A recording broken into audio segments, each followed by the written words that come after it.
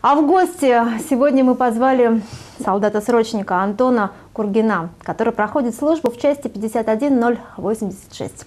Антон, поздравляю вас с праздником. Скажите, пожалуйста, где служите в Ленинском районе?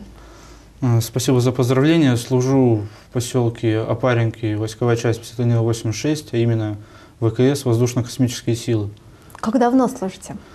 Завтра будет уже 4 месяца, то есть последний призыв 2.15.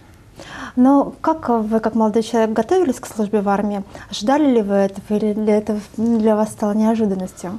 Я специально об этом особо не думал, чтобы это и сюрпризом было, и себе в голову нагоняешь какие-то ожидания не те могут быть. Ну, конечно, было немного не то, что хотелось, но в целом я рад.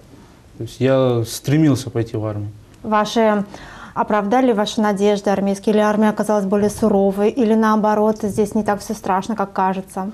Ну, первым делом, да, хочешь сказать, не так все страшно, но у меня есть сослуживцы, которые с учебных частей по всей России были, и различие очень большое. То есть тут я могу конкретно сказать, мне с частью повезло. То есть все в пределах нормы, трудности, которые можно преодолеть, ничего такого сверхъестественного нету.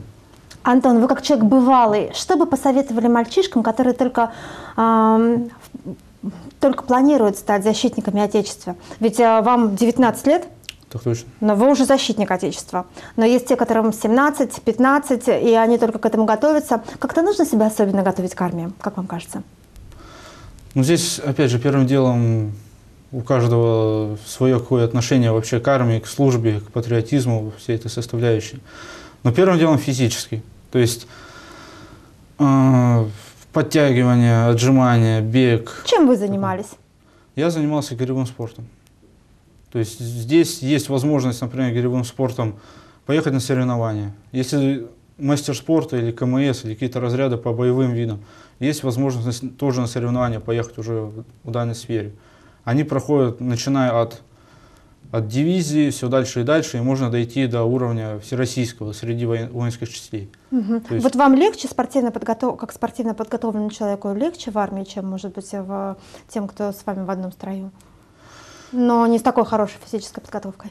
Конечно, легче, но у меня как бы вес, я занимался тяжелой атлетикой, поэтому приехал, снега еще не было, много бегали. Это было, да, сложновато, но привык. Снег выпал, начали ходить в спортзал уже. Там больше подтягивания, отжимания и прочее. Вот тогда я понял, что вот полегче стало. Антон, скажите, переживали немного, кормят хорошо? Отлично. Спасибо вам большое, спасибо, что нашли сегодня время прийти к нам.